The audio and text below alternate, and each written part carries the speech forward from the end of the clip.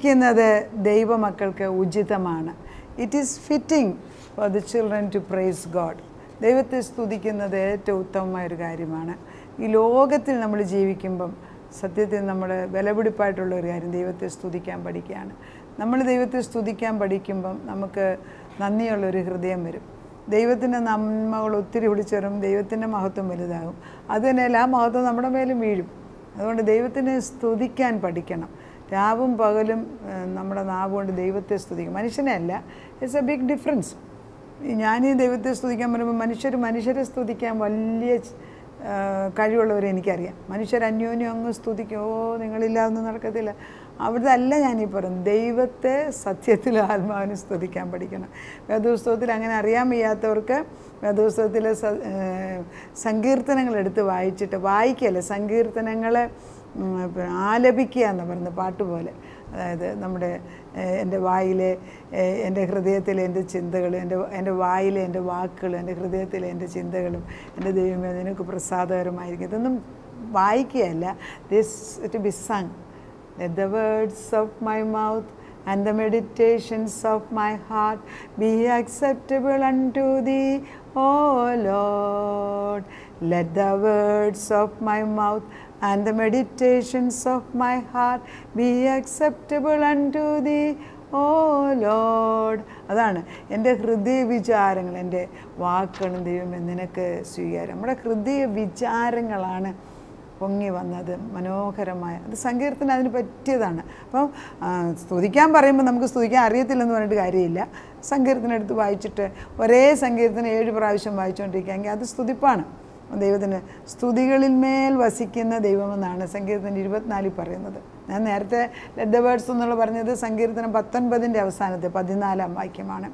അതുപോലെ സ്തുതികളിൽ വസിക്കുന്നവനെന്ന് ദേശേശനെ ദൈവത്തെക്കുറിച്ച് പറയുന്ന അവൻ യഹോവ സ്തുതികളിന്മേൽ വസിക്കുന്ന ദൈവം. അല്ലാതെ നമ്മുടെ ഒരു വികാരവും അവിടെ നമ്മൾ പഠിപ്പിക്കുമല്ലോ അയ്യോ കരഞ്ഞ് പ്രാർത്ഥിച്ചാൽ എല്ലാ ഉത്തരം കിട്ടും. അതൊക്കെ ഫസ്റ്റ് സ്റ്റേജ് ഫസ്റ്റ് സ്റ്റേജാണ് അത് കഴിഞ്ഞ് എത്രയോ പടികൾ കിടക്കുന്നെന്ന്. കണ്ണുനീരോടെ വിധിക്കുന്നവൻ ആർപ്പോടെ പോയി അതെല്ലാം ശരിയാ. പക്ഷെ ദൈവത്തെ സ്തുതിക്കുന്നതാണ് ഏറ്റവും മനോഹരത്. അതിനാണ് ദൈവം നമ്മളെ ദൈവത്തിന്റെ പ്രമോദം മനുഷ്യ മക്കളോടുകൂടി എന്തിനാ? അവന്റെ നമ്മൾ ഈ കൂട്ടുകാർ അങ്ങോട്ടും ഇങ്ങോട്ടും നന്മ പറയുമ്പോഴുണ്ടല്ലോ. നന്മ വർദ്ധിക്കുകയാണ് ചെയ്യുന്നത്. അപ്പോൾ നമ്മൾ ചിലപ്പോൾ ആ നീ ഉണ്ടാക്കിയ ആ ഭക്ഷണം നല്ലതാണ് അപ്പം പിന്നത്തെ പ്രാവശ്യം ആ ഭക്ഷണം ഉണ്ടാക്കാൻ നമുക്ക് കോൺഫിഡൻസ് കൂടും. ആ നീ അന്ന് വചനം പറഞ്ഞ് ഞാൻ ഓർത്തിരിപ്പുണ്ട്. ഞാൻ ഓർക്കുന്നുണ്ട് വർഷങ്ങൾക്ക് മുമ്പ് വർഷങ്ങൾ പറഞ്ഞാൽ ഞാൻ വചനമൊക്കെ പറയും. എനിക്ക് ഓർമ്മയാ കാലത്തൊട്ട് ഞാൻ വചനം പറയുന്നുണ്ട്. ഞാൻ കുറഞ്ഞതൊരു മുപ്പത് കൊല്ലം മുമ്പ് ഒരു പ്രാവശ്യം പോയി ഒരിടത്ത് പോയി ഞാൻ സങ്കീർത്തനം ഇരുപത്തിമൂന്ന് പറഞ്ഞു. പിന്നെ അഞ്ച് പതിനഞ്ച് വർഷം പത്ര ഇരുപത് വർഷം കഴിഞ്ഞ് ഒരു സ്ത്രീ എന്നെ കണ്ടു ചോദിച്ചു ഓടി വന്നു ചോദിച്ചു. അന്ന് നിങ്ങൾ സങ്കീർത്തനം ഇരുപത്തിമൂന്ന് പറഞ്ഞ് ഞാൻ ഓർക്കുന്നെന്ന്. ഞാൻ പറഞ്ഞു എന്റെ പൊന്നപ്പച്ച എന്തൊരു മെമ്മറിയാണ് ചിലത് തൊടുമെന്ന് ദൈവത്തിന്റെ പരിശുദ്ധാത്മാ നമ്മുടെ കൂടെ നിൽക്കുമ്പം നമ്മുടെ നാവ് കൊണ്ട് പറഞ്ഞു സങ്കീർത്തന ഇരുപത്തി നാല് അത് വായിക്കാനാണ് ഞാൻ തുടങ്ങിയത്. ഇരുപത്തിനാലിലാണ് ദൈവം എവിടെ വസ് ഇരുപത്തിനാലല്ല ദൈവം സ്തുതികളിന്മേൽ വസിക്കുന്ന ഇത് നൂറ്റി രണ്ടാം തോന്നുന്നു ദൈവം സ്തുതികളിന്മേൽ വസിക്കുന്ന ദൈവം അല്ലാതെ നമ്മൾ പറയുന്ന പോലെ ഈ വികാരത്തെ കിടന്നുണ്ട് അയ്യോ പത്തും അതൊക്കെ ആദ്യം അത് കേൾക്കത്തില്ലെന്നല്ല കേൾക്കും. പക്ഷെ അതിൽ ഉചിതമായതുണ്ടല്ലോ വേദപുസ്തകം. നമുക്ക് അതെടുക്കാമല്ലോ. കർത്താവിന്റെ പരിശുദ്ധാത്മ നമ്മളോട് പറയുന്നത് നീ ആത്മാവിൽ എന്നെ സ്തുതിക്ക്. സ്തുതിച്ച് കഴിയുമ്പോൾ ഞാൻ നിന്റെ കൂടെ ഇരിക്കും. അപ്പോൾ സ്തുതികളിന്മേൽ വസിക്കുന്ന ദൈവത്തെയാണ് നമ്മൾ വിളിക്കുന്നത്. അപ്പോൾ അവനെ സ്തുതിക്കുക. ഈ ദൈവത്തിന്റെ ദൂതൻ ദൈവത്തിന്റെ ദൂതൻ എന്ന് വെച്ചാൽ പ്രധാന ദൂതനാണ് ഒരാൾ ഗബ്രിയൽ. ഈ ലൂക്കോസിന്റെ സുവിശേഷം ഒന്ന് അധ്യായത്തിന്റെ ഇരുപത്താറാകുമ്പം ആറാം മാസത്തിൽ ദൈവം ഗബ്രിയേൽ ദൂതനെ നസ്രത്ത് എന്ന ഗലീല പട്ടണത്തിൽ ദാവീദ് ഗൃഹത്തിലുള്ള യോസഫ് എന്നൊരു പുരുഷനെ വിവാഹം നിശ്ചയിച്ചിരുന്ന കന്യകയുടെ അടുക്കൽ അയച്ചു. അപ്പോൾ ഈ കന്യക രാജ്ഞിയൊന്നുമല്ല ഈ കന്യക വലിയ ഫേമസ് ഒന്നുമല്ല സാധാരണയിൽ സാധാരണയായ ഒരു സ്ത്രീയായിട്ടാണ് ഇവിടെ വേദപുസ്തകത്തിൽ കാണിച്ചു വെച്ചിരിക്കുന്നത്. നോക്കിയോണേ കന്യകയുടെ അടുക്കൽ അയച്ച് ആ കന്യകയുടെ പേര് മറിയ എന്നായിരുന്നു. കൃപ ലഭിച്ചവളെ നിനക്ക് വന്ദനം. കർത്താവ് നിന്നോടുകൂടെ എന്ന് പറഞ്ഞു. എന്താ വിളിച്ചത്? മറിയെന്ന് വിളിച്ചില്ല. The angel comes and calls കൃപ ലഭിച്ചവളെ.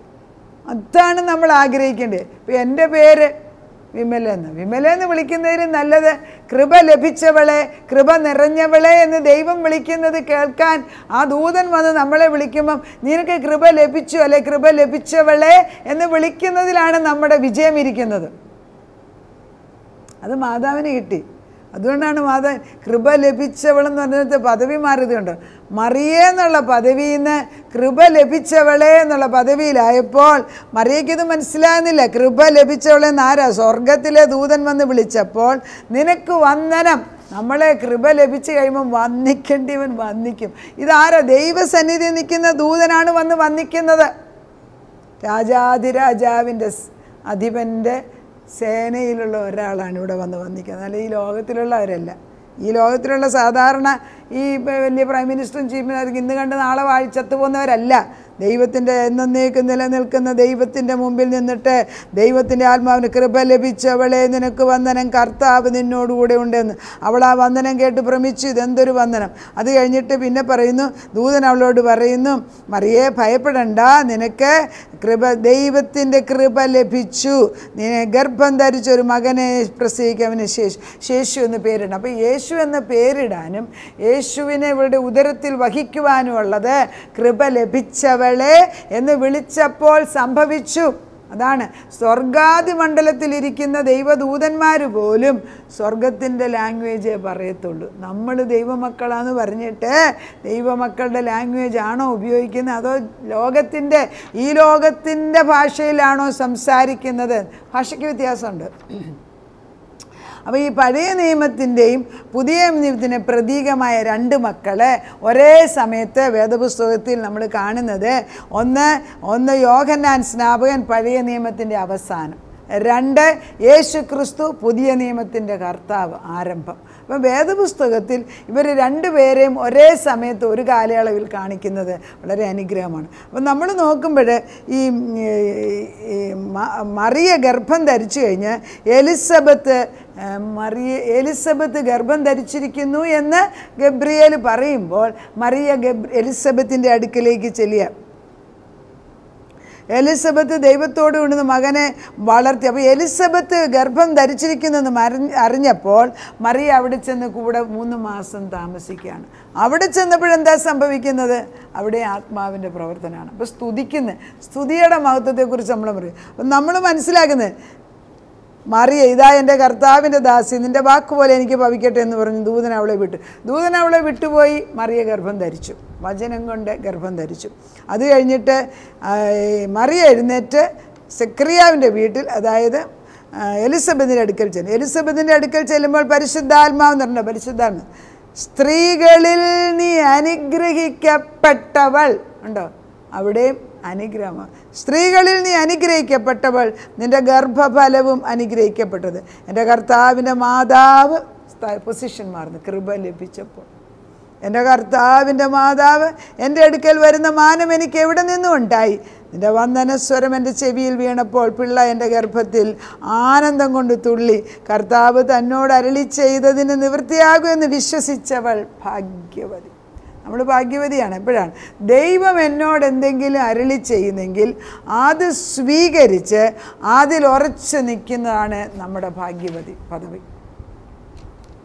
നമ്മൾ സ്ത്രീകളോട് ഞാൻ പറയുന്നത് സ്ത്രീകളോട് ഞാൻ പറയുന്നത് സ്ത്രീജനത്തിന്റെ മഹത്വം എന്ന് പറയുന്നത് നമ്മുടെ പേരല്ല നമ്മുടെ പ്രവൃത്തികളാണ് ദൈവത്തിൽ ഉറച്ച പ്രവൃത്തികൾ നമ്മൾ മനസ്സല്ല ദൈവം നോക്കുന്നത് നമ്മുടെ മനസ്സിനകത്തെ ചിന്തകൾ ദൈവത്തോട് അനുരൂപമാകുമ്പോൾ ദൈവപ്രവൃത്തികൾ പുറത്തു വരും. നമ്മുടെ സംസാരത്തിന് വ്യത്യാസം വരും. നമ്മുടെ ദൈവത്തോട് ചേർന്ന് പ്രവൃത്തി ചെയ്യുമ്പോൾ നമ്മളെ കൃപ ലഭിച്ചവളെന്ന് തന്നെ ദൈവം വിളിക്കും. ദൈവത്തിന്റെ മക്കളാക്കാൻ അവന്റെ വചനത്തിലാണോ നമ്മളെ മക്കളെ വളർത്തുക. അപ്പം നമ്മൾ നമ്മുടെ മക്കളെയും ദൈവവചനത്തിൽ അപ്പോൾ നമ്മളതിനു വേണ്ടി പ്രാർത്ഥിക്കണം. കർത്താവ് ഞങ്ങളുടെ മക്കളെ നിന്റെ കൃപയിലും നിന്റെ കരുണയിലും വളർത്തിയെടുക്കുവാൻ ഞങ്ങളെ പഠിപ്പിക്കണമേ. നമ്മളോട് ദൈവം പറയുന്നത് ഹോബിയുടെ കൈ ശക്തിയോടെ ഇറങ്ങിയാണ്. എപ്പോഴാണ് ദൈവവചനം വിളിച്ചത്? തലമുറയ്ക്ക് നമ്മൾ എന്താണ് വാരിക്കൊടുക്കുന്നത്? സ്ത്രീകളെ ഭർത്താക്കന്മാരെ ബഹുമാനിക്കാൻ പഠിപ്പിക്കണം. പുരുഷന്മാരെ നിങ്ങൾ ഭാര്യയെ സ്നേഹിക്കാൻ പഠിക്കണം. മറ്റുള്ളവരെ സഹോദരി സഹോദരന്മാരായി അപ്പനമ്മമാരായി കാണാൻ പഠിപ്പിക്കണം. പെൺമക്കൾ മാന്യമായി വസ്ത്രം ധരിക്കാൻ അമ്മമാരെ പഠിപ്പിക്കണം. നമ്മുടെ ശരീരത്തെ സൂക്ഷിക്കാൻ പഠിപ്പിക്കണം. ലോകം കണ്ട രണ്ട് തലമുറ പിറന്നു വീഴാൻ ആ രണ്ട് മാതാക്കൾ വലിയ വില കൊടുത്തു. വീഞ്ഞും മദ്യമുള്ള നാട്ടിൽ എനിക്കിത് നിഷേധമെന്ന് യോഹന്നാൻ സ്നാപകൻ പറഞ്ഞു. കർത്താവ് കർത്താവിന്റെ ജനനത്തിൽ മാതാവിനെ കൃപ ലഭിച്ചവൾ കൃപ നിറഞ്ഞ് യേശുവിനെ ഭൂമിയിലേക്ക് നമുക്ക് യാതനാകാൻ ദൈവം ഉപയോഗിച്ചു. അത് അനുഗ്രഹ പാത്രമാക്കി മാറ്റിയാണ്. നമ്മൾ മനസ്സിലാക്കേണ്ടത് ഒരു സ്ത്രീയുടെ മഹത്വം ദൈവത്തിന്റെ സ്തുതി വഹിക്കുന്ന പാത്രങ്ങളാക്കി മാറ്റുമ്പോൾ അസാധ്യ കാര്യങ്ങൾ നമ്മളെ കൊണ്ട് ചെയ്യിപ്പിക്കും. ദൈവത്തെ സ്തുതിക്കുന്ന അപ്പനമ്മ എവിടെയുണ്ടോ അവിടെ അനുഗ്രഹം കടന്നു വരും. നമ്മൾ പലപ്പോഴും അവലാതി പറയും അതെല്ലാം നന്മ ചെയ്യുന്നവരാണെങ്കിൽ കുറേ കഷ്ടപ്പെട്ട് മക്കൾക്ക് വേണ്ടി അധ്വാനിച്ച് കാശുണ്ടാക്കി വെക്കും. അവർക്കൊരാ വേണം ആവശ്യമുള്ളത് പറയുന്നുണ്ടല്ലോ മക്കൾക്ക് വേണ്ടി പിന്നെ തന്റെ മക്കൾക്ക് വേണ്ടി പിന്നെ അപ്പനമ്മമാർ സൂക്ഷിച്ചു വെക്കുന്നത് നല്ലതെന്ന് വേദപുസ്തകത്തിൽ പറഞ്ഞു. പക്ഷേ ഒത്തിരി അതിൽ ആ പ്രാധാന്യം കൊടുത്തിട്ട് അവരുടെ സ്വഭാവം നശിച്ചാൽ ഒരു ഗുണമില്ല അതുകൊണ്ട് ആദ്യം നമ്മൾ ദൈവത്തിൽ മക്കളെ വളർത്തിയ മുൻപേ അവന്റെ രാജ്യവും നീതിയും അന്വേഷിക്കുക. അതോടുകൂടി സകലത്. അവന്റെ രാജ്യവും സ്ഥിതി അന്വേഷിക്കണമെങ്കിൽ കരഞ്ഞെപ്പോഴും പ്രാർത്ഥിച്ചുകൊണ്ടുള്ള ഒരു ദൂഷ്യം ഞാൻ പറഞ്ഞുതരാം. ഞാൻ അനുഭവത്തിൽ കണ്ടതാണ് സൗദി അറേബ്യ വെച്ച്. അത് വളരെ ഇമ്പോർട്ടന്റ് അതുകൊണ്ട് ഞാൻ പറയാം ഒരു സ്ത്രീ നല്ല സൗകര്യമുള്ള ഭവനത്തിലാണ് നമ്മുടെ എറണാകുളത്തുള്ളൊരു ഫാമിലിക്കാരാണ്. നമുക്ക് പേര് പറഞ്ഞാൽ നിങ്ങൾക്ക് പലർക്കും അറിയാവുന്ന ഫാമിലിയാണ് വളരെ നല്ല ഫാമിലി. ഭാര്യയും ഭർത്താവിന് നല്ല ജോലി അരാംകോയിൽ അവരൊരു നല്ല സ്ത്രീയാണ്. പക്ഷെ അവർ എന്നും വീട്ടിൽ ചെയ്തുകൊണ്ടിരുന്നത് അവരുടെ വീടിന്റെ മുൻവശത്തെ മുറിയിൽ കർത്താവിന്റെ ഒരു കുരിശ് രൂപം വെച്ചിട്ടുണ്ട്. കർത്താവിന്റെ ക്രൂശ്. ഐ തിങ്ക് ഇറ്റ് ഇസ് രൂപാത കുരിശിന്റെ പടമോ വെച്ചിട്ട് എന്ന് ഈ കുട്ടി ആ- സ്ത്രീയെ ആ പടത്തിന്റെ മുമ്പിൽ അങ്ങ് കരച്ചിലോട് കരച്ചിലോട് കരച്ചിലോട് കരച്ചിൽ രണ്ട് ഒരു ആണും ഒരു മോ ഒരു മോളുമാണ് അവർക്കുള്ളത്. ഈ പെൺകുട്ടിക്ക് പതിനെട്ട് വയസ്സായപ്പോൾ അവളൊരു മുസ്ലിമിന്റെ പോയെ പോയി. ചോദിച്ചു കാരണം എന്താണ്? എന്നും ആ കരച്ചിൽ മാത്രമുള്ള ഒരു അമ്മയുടെ ദൈവത്തെ. അതെന്തൊരു ദൈവം? സന്തോഷിക്കാൻ മറന്നുപോയി. നമുക്കെല്ലാം ആ കുഴപ്പമില്ലേ? സ്തുതിക്കുന്നത്. അതേസമയം അവിടെ ക്രൂശിനെ മറ്റേ പടം എടുത്ത് വെച്ച് കർത്താവിനെ സ്തുതിച്ചുകൊണ്ടിരുന്നെങ്കിൽ it would have been a different effect നമ്മൾ മനസ്സിലാക്കണം. നമ്മൾ പ്രാർത്ഥിക്കുമ്പോഴും പരിശുദ്ധാത്മാവിൽ നിറഞ്ഞ ദൈവത്തെ സ്തുതിക്കുന്നു. ഈ ലൂക്കോസിന്റെ സുവിശേഷം ഒന്നാം അധ്യായം വായിക്കുകയാണെങ്കിൽ മറിയയും എലിസബത്തും കൂടെ സംസാരത്തിൽ എന്തോ ഒരു സ്തുതിപ്പാണ് അതിനകത്ത് വരുന്നത്. രണ്ട് സ്ത്രീകൾ ഒന്നിച്ചു കൂടിയപ്പോൾ പഴയ നിയമത്തിന്റെ അവസാനമാകുന്ന യോനാൻ സ്നാപകനെ ഉണ്ടാക്കിയ അമ്മയും പുതിയ നിയമത്തിന്റെ ആരംഭമാകുന്ന യേശുവിനെ ഉണ്ടാക്കിയ അമ്മയും കൂടെ ഒന്നിച്ചു കൂടിയപ്പോൾ അവരുടെ സംസാരം സ്തുതിപ്പായിരുന്നു. അതായിരിക്കണം നമ്മൾ രണ്ടുപേർ കൂടുമ്പോൾ രണ്ട് സ്ത്രീകൾ രണ്ട് പുരുഷന്മാർ കൂടുമ്പോൾ സ്തുതിപ്പ്. ദൈവം ചെയ്ത നന്മകൾ പാട്ടില്ല ദൈവം ചെയ്ത നന്മകൾക്കെല്ലാം എന്ത്? ദൈവം ചെയ്ത നന്മകൾക്കെല്ലാം എന്ത് പറഞ്ഞിടാം? അങ്ങനെ ഒരു പാട്ടുണ്ട് ഐ ഡോണ്ട് റിമെമ്പർ പക്ഷെ ദൈവത്തിന്റെ നന്മ പറയാൻ തക്കണം നാളിത് പോരാ നാവിത് പോരാ ജീവിതം ഇത് പോരാ. ദൈവം ചെയ്ത നന്മകൾ പറയാൻ പഠിക്കണം. നമുക്ക് പ്രാർത്ഥിക്കാം. നാഥ സ്തുതിക്കുന്നത് ഏറ്റവും ഉചിതമാണ് ഞങ്ങളുടെ നാവുകൾ കൊണ്ട് ഞങ്ങൾ അന്യോന്യം സ്തുതിക്കുന്നതിൽ കൂടുതലായിട്ട് ദൈവത്തെ സ്തുതിക്കാൻ പഠിപ്പിക്കണം. മറിയ എലിസബത്തിന്റെ അടുക്കൽ ചെന്നപ്പോൾ മാതാവിന്റെ ഉള്ളിലുള്ള എലിസബത്തിന്റെ ഉള്ളിലുള്ള ശിശു സന്തോഷം കൊണ്ട് തുള്ളിച്ചാടി. എലിസബത്ത് പറയുന്നു ദൈവം കർത്താവ് പറഞ്ഞ് വിശ്വസിച്ച നീ ഭാഗ്യവതിയെന്ന്. ഞങ്ങളും അതന്നെ ചോദിക്കുന്നു. ദൈവം അന്ന് ഞങ്ങളോട് സംസാരിക്കുന്നുണ്ട്. വചനത്തിൽ കൂടെ മറ്റുള്ളവരിൽ കൂടെ വേദപുസ്തകത്തിൽ അവിടുന്ന് പറയുന്നത് വിശ്വസിക്കുന്ന ഭാഗ്യപദവി ഞങ്ങൾക്ക് ഇട്ട് തരണം. അത് കഴിഞ്ഞപ്പോൾ അവർ രണ്ടുപേരും കൂടെ സ്തുതിപ്പാണ്. എന്തോ ഒരു സ്തുതിപ്പ് സ്തോത്രം എന്തൊരു മനോഹരമാണ് വെച്ച അങ്ങനെ ദൈവമക്കൾ കൂടുന്നിടത്ത് സന്തോഷത്തിന്റെ സ്തുതിപ്പിന്റെ ആത്മാവുണ്ട്. ഞങ്ങളുടെ ഭവനങ്ങളിൽ അതുകൊണ്ട് സന്തോഷത്തിന്റെ ഉല്ലാസത്തിന്റെയും ദൈവനാമത്തിലുണ്ടാകട്ടെ അല്ലാതെ നമ്മളെ അച്ചതിക്കും ദുഷ്ടതിക്കും അതിനെ ഞങ്ങൾ വെറുക്കുന്ന പച്ച അതിനെ വെറുക്കുന്നു വെറുക്കുന്നു വെറുക്കുന്ന പച്ച നമ്മുടെ ഭവനങ്ങൾ ഇന്നിറ്റേണിറ്റി ഒരു തലമുറയിൽ ഉണ്ടാകരുതേ എന്ന് ഞങ്ങൾ പ്രാർത്ഥിക്കുന്നു. നമ്മുടെ തലമുറകൾ ദൈവത്തെ അറിയുന്നവർ ദൈവത്തോട് ചേർന്ന് നിന്ന് സത്യദൈവത്തിനും സത്യാത്മാവിലും സത്യത്തിലും ആത്മാവിലും ആരാധിക്കുന്നവരായി മാറട്ടെ. അങ്ങനെ തന്നെ അങ്ങനെ സംഭവിച്ചിരിക്കുന്നതിനാൽ സ്തോത്രം.